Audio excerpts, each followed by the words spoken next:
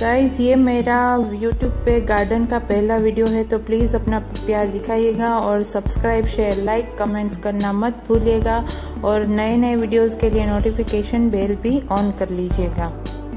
देखिए, ये मेरा बेजिल का प्लांट है स्वीट बेजिल बोलते हैं, उसके साइड में ये फ्लावर का प्लांट है। और ये पूरा ही अच्छे से ग्रो हो रहा है विंटर में भी। और ये है बैंगन का प्लांट जिसमें अभी फूल आ रहे हैं तो फल फूल रहा है उसमें। छोटे छोटे बैंगन भी बन रहे हैं। मैं आपके साथ शेयर करूँगी जब पूरी तरह से बन जाएँगे। और ये छोटे से कंटेनर में दो प्लांट लगाए हुए हैं। देखिए, ये छोटा सा बैंगन अभी यहाँ पे बन रहा है, अभी दिखाई नहीं देगा। और उसके बाद बाजू में ये मैंने लगाया है टमाटर का प्लांट जो देसी टमाटर होते हैं, राउंड वाले। एकदम खट्टे वाले होते हैं। उसका सीड मैंने लगाया था। घर के टमाटर से ही लगाया था बट ये अभी अच्छी तरह से बड़ा हो गया है ग्रो हो गया है और इसमें भी काफ़ी सारी फूल आ रहे हैं। तो ऐसा नहीं है कि टमाटर के आपको बाहर से बीज लेने पड़ते हैं, घर में से ही निकल जाते हैं बीज। वो ही आप उगा दे तो भी उग जाता है अच्छे से। ये देखिए, इसमें अभी छोटा सा टमाटर बन रहा है। कितना प्यारा छोटा सा है। अभी काफ़ी सारे बन रहे हैं। जब बड़े होंगे तब आपको आपके साथ शेयर करूँगी वीडियो बना के। तो मुझे कमेंट्स में लिखिएगा अगर कोई भी क्वेरीज हो आपको। ये मेरा पूरा बालकनी गार्डन है। ये चेरी टोमेटोज़ है। इसमें भी अभी बर्ड्स आ रहे हैं। देखिए, ये वाली बर्ड्स है अभी। वो भी फलेगी, फूलेगी। और आपको कोई क्वेश्चन हो तो मुझे प्लीज़ कमेंट में लिखिएगा, क्योंकि ये मैंने बालकनी गार्डन पूरा फ्लावर्स और वेजिटेबल का बनाया है। तो अगर आपके पास भी कम जगह है और बालकनी है और आप ग्रो करना चाहते हो तो प्लीज़ मुझे कमेंट में पूछिएगा अगर कोई क्वेश्चन है। और ये बालकनी मेरी छः बाई छः फुट की है तो इसमें भी मैंने कई सारे वेजिटेबल्स और फ्लावर्स भी लगाए हुए हैं। तो आप देखते रहिए, ये मनी प्लांट है, कई साल पुराना है और ये मैंने मिंट लगाया है। ये एक वेस्ट बैग में ही लगा हुआ है, दोनों मिंट ही है। जब भी मिंट घर पे आता है, उसकी डाली निकाल कर मैं ग्रो कर रही हूँ। और ये फ्लावर है जो मैंने सितंबर में उसका उसके बीच से लगाए थे तो अभी जाके उसमें फ्लावरिंग आ रही है। देखो कितना प्यारा है। लगता है पूरा दिन इसे ही देखते रहे। इसमें भी काफ़ी सारी बर्ड्स आ रही है तो अभी नेक्स्ट टाइम में काफ़ी सारे फूल भी आएँगे। और ये तो आपको पता ही है, गुलदाउदी।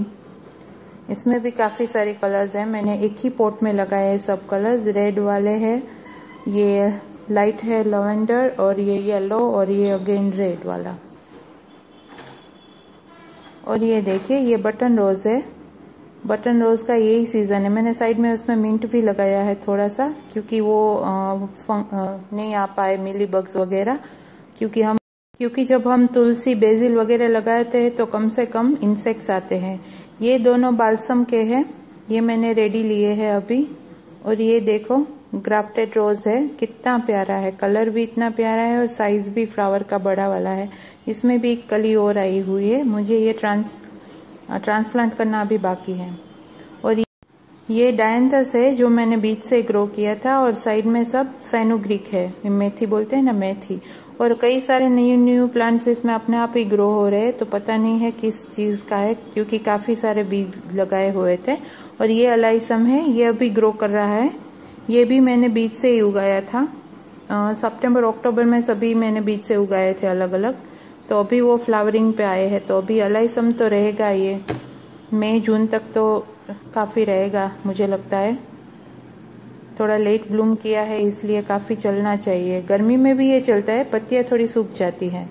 और ये थाई बेजिल है, जिसे मरुआ भी बोलते हैं। ये मैंने एक कंटेनर में दो प्लांट लगाए हैं। ये मीठा नीम जो भी कंटेनर वाटर का होता है ना, वो कट करके लगाया है। अभी यहाँ पे है बटन रोज़ जिसे बोलते हैं एकदम मिनिएचर वाला, जो छोटा सा होता है ना, वो वाला, इसमें वाइट है और पिंक कलर दो लगाए हुए हैं। और ये जेरेनियम है, इसमें अभी बर्ड्स आई हुई है बट अभी फ्लावरिंग नहीं है। तो जब अगेन फ्लावरिंग होगी, तब वीडियो बना के शेयर करूँगी आपके साथ। और ये स्ट्रॉबेरी का प्लांट है दो प्लांट है स्ट्रॉबेरी के और देखिए इसमें कितनी प्यारी सी स्ट्रॉबेरी भी आई हुई छोटी छोटी इसमें भी है छोटी। और ये अगेन डायंथस का है। अभी इसको कट किया था तो अभी फ्लावरिंग नहीं है। और ये झरबेरा का प्लांट है। इसमें भी बर्ड है तो वो भी अभी फ्लावरिंग करेगा थोड़े दिन में। और ये अच्छा इसका फ्लावर आता है तो पंद्रह दिन तक खिलता ही रहता है। और ये है छोटा, इसे मॉर्निंग ग्लोरी भी बोलते हैं। और दूसरा नाम तो मुझे पता नहीं, मगर हमारे यहाँ ऐसे छोटा मॉर्निंग ग्लोरी कह के सेल करते तो ये है, और ये दो अडेनियम मुझे गिफ्ट में मिले थे। तो इस साल इसमें फ्लावरिंग हुई है। अभी विंटर चल रहा है, तब भी इसमें फ्लावरिंग हो रही है। अभी देखते हैं, मुझे इस साल इसको कटिंग करके उसका कॉडेक्स थिक बनाना है। तो अभी तो फ्लावरिंग हो रही है, इसलिए कट नहीं कर सकते। देखो कितना बड़ा है हाइट में इतना बड़ा हो गया है। क्योंकि वो गिफ्ट में मिला है तो कोई आ, पता नहीं है कि क्यों कट नहीं किया उसने। अभी ये मुझे ठीक करना पड़ेगा दोनों को। और ये देखिए ये मेरा वाटर लिली का पॉन्ड है। ये भी काफ़ी ग्रो कर रहा है ये हार्डी है तो ग्रो कर रहा है मगर अभी इसमें फ्लावरिंग नहीं है। ये समर में फ्लावर देगा शायद। आ, उसकी री ग्रोथ होंगी फेब्रुआरी मार्च से उसकी ग्रोथ फिर से चालू होंगी। तभी फ्लावर आएँगे इसमें। और उसमें मैंने काफ़ी मछलियाँ भी रखी है क्योंकि वो अलगी वगैरह प्रॉब्लम होती है तो वो मछली रखने से नहीं होगी। और ये देखिए ये मैंने दूसरी बालकनी में भी वो जो रूम के बाहर होती है छोटी बालकनी उसमें भी मैंने काफ़ी सारे पौधे रख दिए हैं। ये सभी अलग अलग है ये सब आ, मैंने दो फ्लोर में किया है। अगर आपके पास कम जगह है तो आप ये आइडिया लगा सकते हैं। एक मैंने साइड में रखा है और ये वाला है वो दो पाइप के ऊपर डिस में रखा है सभी पोट। तो आप देख लीजिए, आपके पास जगह कम है तो आप ये आइडिया भी लगा सकते हैं। ये सब फ्लावरिंग प्लांट है जो ऊपर है और ये सब मैंने चकुंदर बीट लगाया हुआ है। देखिए इसमें बीट है। कई सारे प्लांट है अलग अलग टाइम पे लगे हुए हैं, इसलिए एक ग्रो होगा, बाद में दूसरा ग्रो होगा।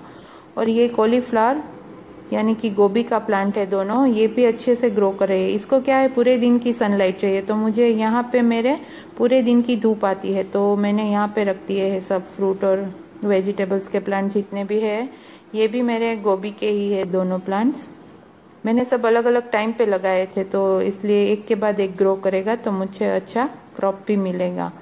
और ये मैंने लहसुन उगाया है ग्रीन जिसे बोलते हैं इस एक बार इसकी हार्वेस्टिंग हो गई तो अभी ये फिर से ग्रो हो रहा है। और ये दूसरी बालकनी है, इसमें मैंने आलू लगाए थे।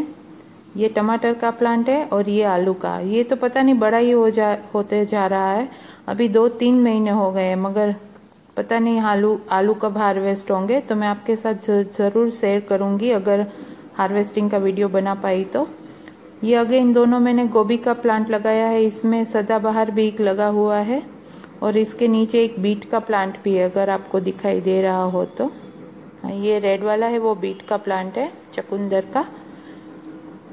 और ये दोनों गोभी के हैं और ये फिर बैंगन का प्लांट है इसमें तीन प्लांट लगे हैं मगर वो एक ही अच्छे से ग्रो हो रहा है। इसमें भी फ्लावरिंग स्टार्ट हो गई है अब देखते हैं बैंगन कब बनते हैं। तो ऐसी बालकनी हो तो आप इसमें भी फ्रूट और वेजिटेबल्स उगा सकते हैं। ये सोच के मत रुकिएगा कि मेरे पास जगह नहीं हो और मैं कुछ नहीं कर सकती। अगर आपका मन होगा तो आप छोटी सी बालकनी में भी काफ़ी सारे वेजिटेबल्स और फ्लावर्स भी ले पाएँगे। ये देखिए, ये मेरा ये मेरा दहलिया का प्लांट है। अगर वीडियो अच्छा लगा है तो सब्सक्राइब करना मत भूलिएगा और चैनल का नोटिफिकेशन बेल भी ऑन कर लीजिएगा। Stay tune thank you